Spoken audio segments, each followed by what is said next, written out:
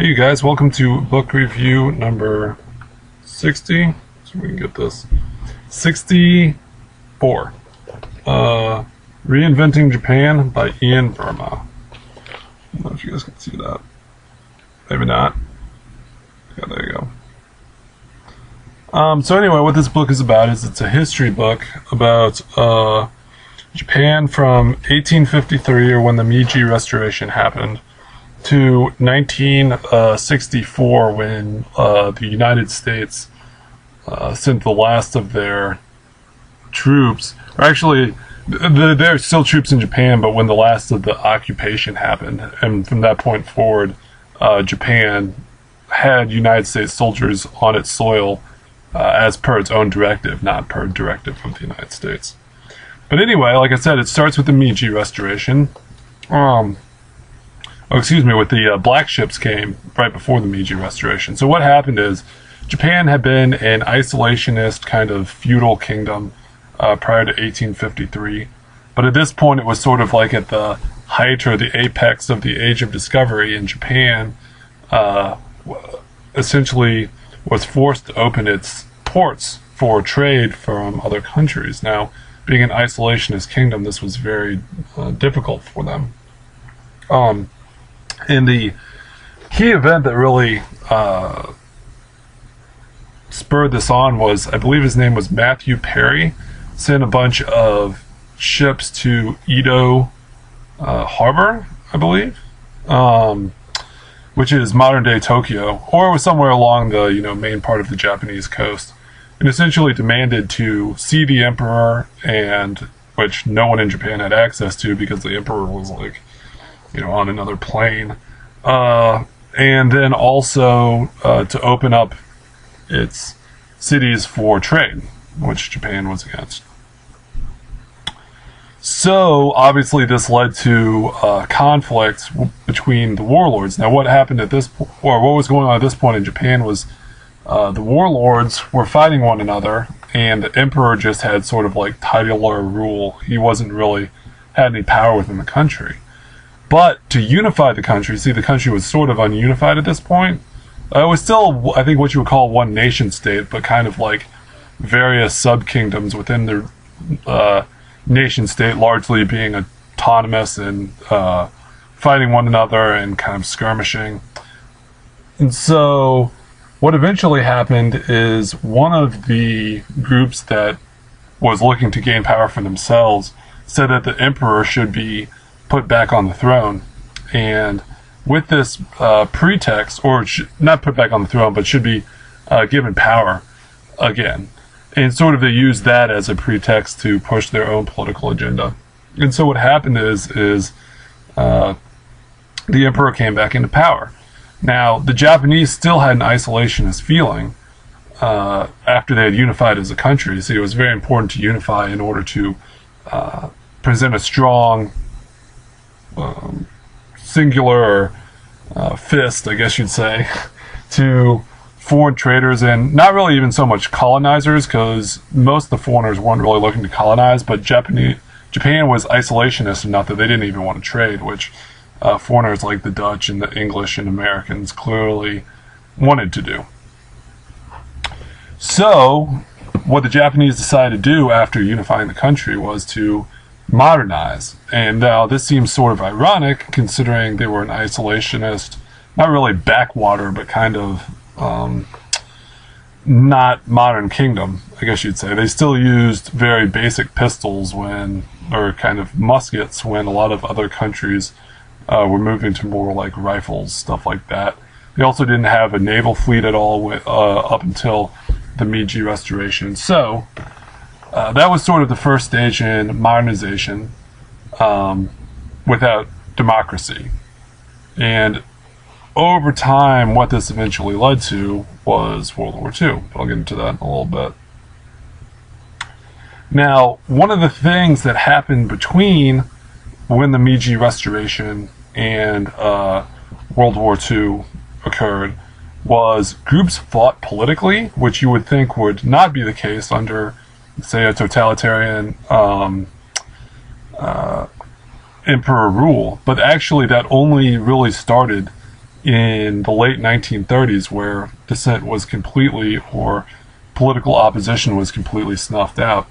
But what happened was, and this has more to do to say with like the culture of Japan, was countries, um, countries, political factions argued over points, but they were points that were sort of like false, um, not false equivalents, but uh, they. Oh, there's a specific word for this. Um, false ends. I don't know. It's where the sides argued over a point, but kind of sort of their end point was very similar. So, for example, uh, one side, which was the uh, well, I forget the name of these political factions. I'm really kind of rambling here. But one of the one of the political factions argued that the emperor should still have some power, but the primary military directive should be done by the military. And the other side said that uh, no, the emperor should have direct power over the military, and he should be the one to really choose. But the problem with this is that the end goal for both of them was sort of an imperial, militaristic, um, colonial outlook type of society. Uh, there was no debate about whether they were going to take uh, Korea as a colony. It was more merely um, what were the means to that ends, and the ends was always the same, or at least in terms of the the destructive element of it, it was almost always the same. Um, and the reason I say that this is part of Japanese society is uh, Japan is a society that focuses very much on process, but doesn't always focus on end goals. Uh, I don't want to get too much into the, the cultural side of it, but for example, like the way that you interact with another human being is very much ritual based. Um, now, not it's not always like wearing kimonos and traditional dress, but even in modern Japan, um, there's a particular protocol that you have to deal with when dealing with like businessmen and stuff. And so, like uh, the the sort of process or protocol of these people debating when eventually coming to the same point of Japan is a glorious nation, its people are superior, uh, was unquestioned. Um, not to say that the Japanese aren't good people, but you know there was no dissent on uh, some of these end goals. Okay, so after the Meiji era, I believe it was the the Taisho era, I want to say. Um, I am not 100% on this. Uh, let me look this up real fast. Because they do have chapters in here. Uh, I thought they did. Um, I think it was the Taisho era, and essentially, yeah, here we go. Um, and essentially, what happened during that era doesn't say here is that uh, it was kind of like the Weimar Republic in uh, Germany, in that um, there was a lot of encouragement of the arts. There was a lot of encouragement of kind of um, progressive personal culture. Uh, people wore Western dress. People, um, you know, stayed out all night drinking. Uh, people um, were very open, but there wasn't that sort of solid democracy behind it. It was kind of a um, cultural opening.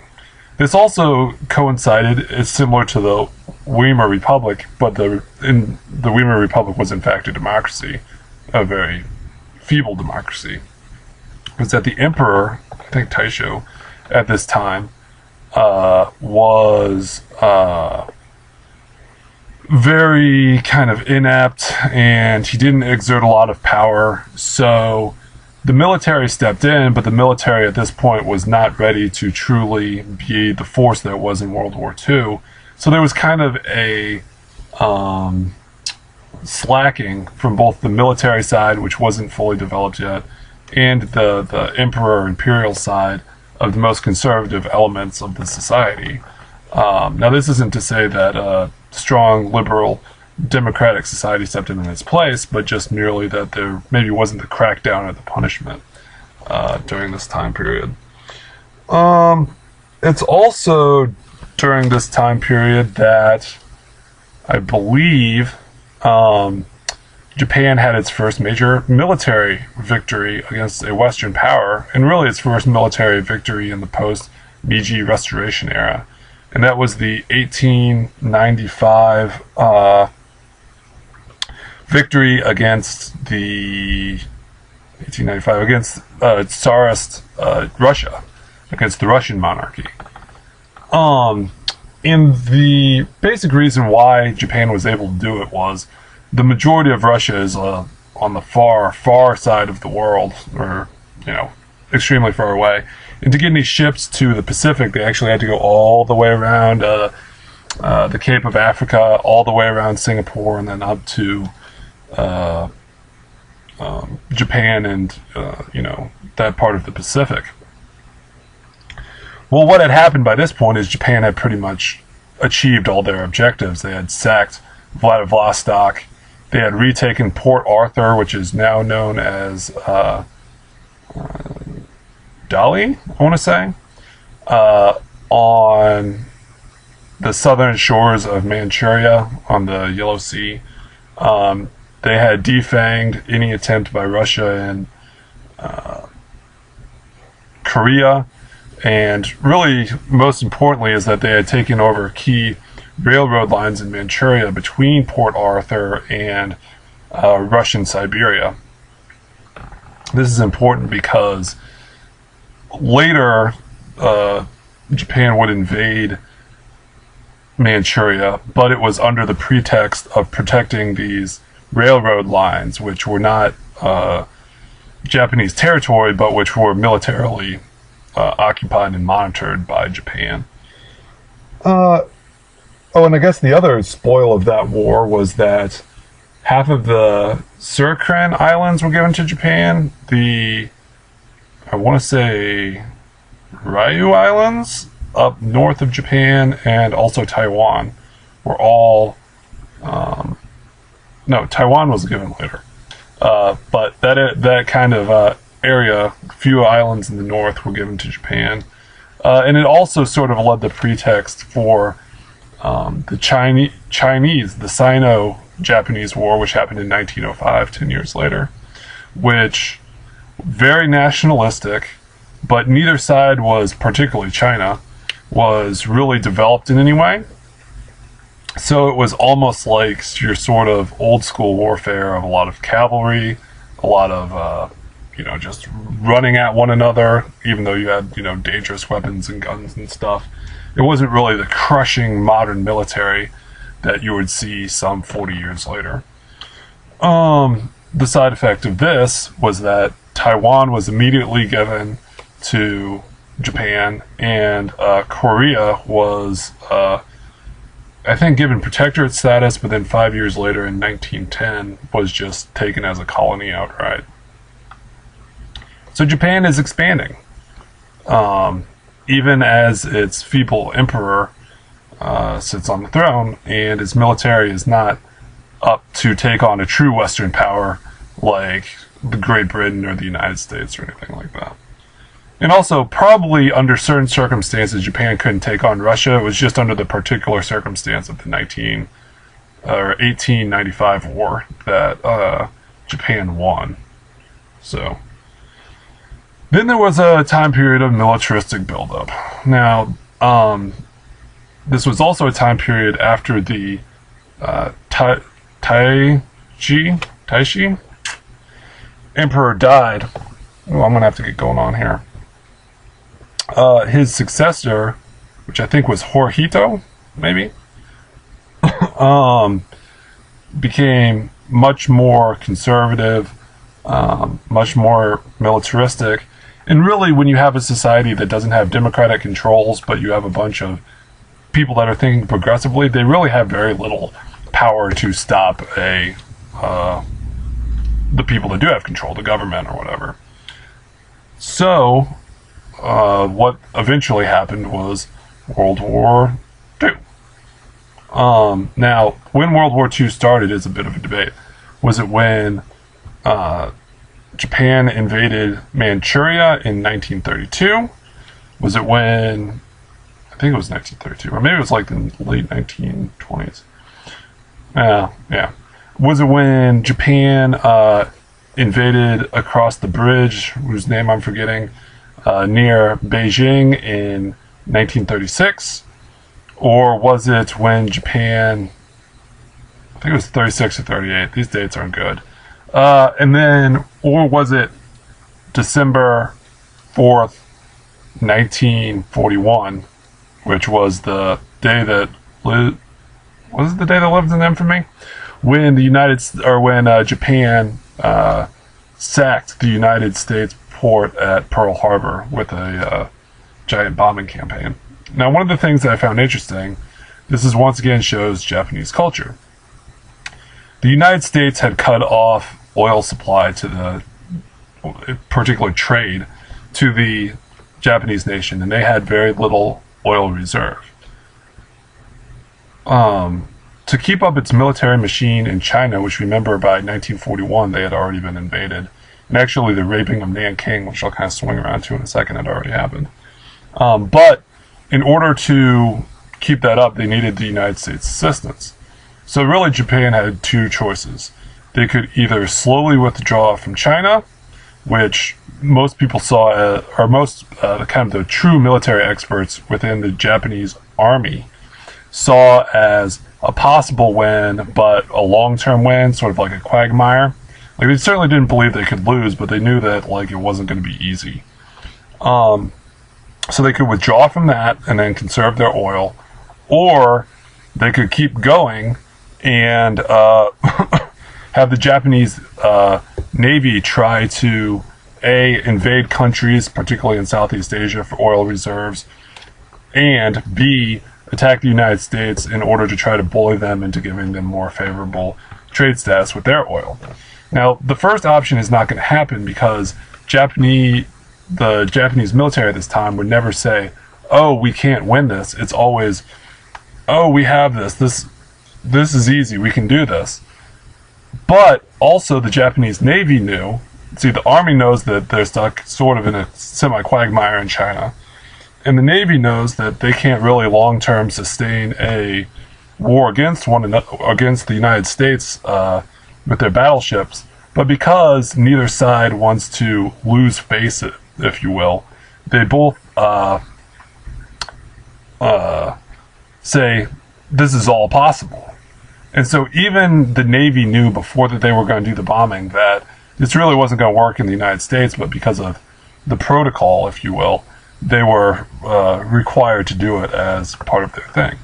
Which brings up another interesting point that they brought up in the book. Unlike in um, uh, Germany, where Hitler really was both the nominal leader of the country, had totalitarian control, um, there were no rivals, or if there were rivals, they would have gone very, very quickly. In Japan, um, there was an agreement on what Japan should, the the superiority of the Japanese people, and what the expanding empire of Japan should look like. But who was exactly running the show was a bit of a mystery. Was it Hirohito? Was it Tojo? Was it um, the head of the army, whose name I'm forgetting? Uh, all these people wouldn't admit to one another what, be honest with one another what their true circumstance was. So, needless to say, uh, Japan eventually got overwhelmed both with being stuck in China and just not having enough manpower and resources to take on uh, the revved up machine that was the United States of America. And it led to its downfall. So, what happened is in 1945, the armistice was signed. The MacArthur came in. Uh, Hirohito was allowed to stay in power because he was the emperor and it was their cultural tradition, which a lot of people were kind of upset about, particularly uh, obviously the Koreans, the Chinese, rape of Nanking. I think they mentioned uh, um, something like 200,000 people died in the rape of Nanking, and uh, unlike in other, I'm going off track here. Back to back to the rape of Nanking unlike other Chinese expeditions that were tended to be very um, disciplined, even if they were kind of cruelly military based, it became sort of an anarchy killing in the rape of Nanking. And largely this was thought of just because the Japanese were getting fed up with um, well, they both thought of the Chinese as inferior, and they were just getting fed up of uh, kind of any sort of Japanese resistance. Basically, they just thought we're superior, we can just go in here and do this. Um, what what resistance are these stupid people going to provide? Those this is the Japanese mentality towards the Chinese. Okay, so that was the rape of Nanking. Back to uh, MacArthur. Basically, ruled the the nation almost as like a co-emperor for I think it was like nine years or something.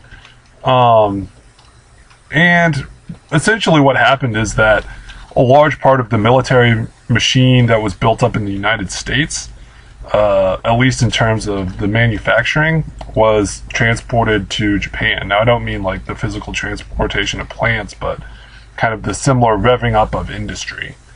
The, some of this had already been done, obviously, for Japan's own um, military ends uh, during the war.